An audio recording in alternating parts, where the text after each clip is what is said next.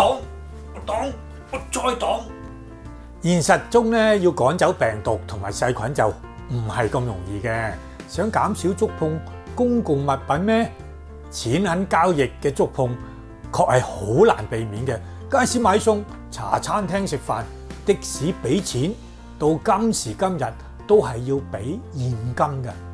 其實喺內地咧，無論係市區抑或偏遠嘅地區，賣小食嘅攤檔俾一個幾毫咧，都無人超市買嘢俾錢，甚至係租一部車啊，都係用一個二維碼掃一掃就俾咗錢。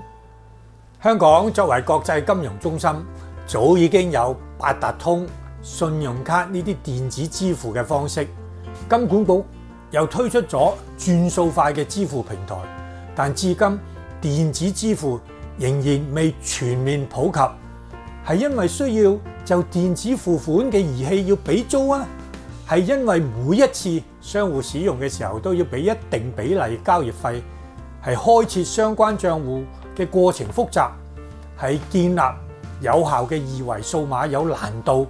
定係要俾錢嘅普羅大眾唔安心，抑或唔懂得點樣用，或者唔願意用呢？疫情反覆，特區政府實在應該就剛才所講嘅種種問題尋找答案，連同金管局廣泛推廣使用電子支付，減低錢銀嘅接觸，減少感染源頭。好開心，特首剛剛公布為食環署辖下嘅街市攤檔提供一次性嘅資助，推行非接觸式嘅找數。其實更進取嘅方法咧，就可以招聘目前好難揾到工嘅年青人，培訓佢哋咧喺做足防疫措施之下咧，去唔同嘅街市同埋小商戶講解，協助佢哋開設呢個轉數快嘅戶口，亦都可以幫助到場買嘢嘅市民去使用。政府可以帶頭喺採購啊、工程或者顧問等嘅項目付款嘅時候咧，用轉數快去找數。更進一步，當然係令轉數快呢個系統響大灣區通行，方便港商同埋市民喺內地進行交易。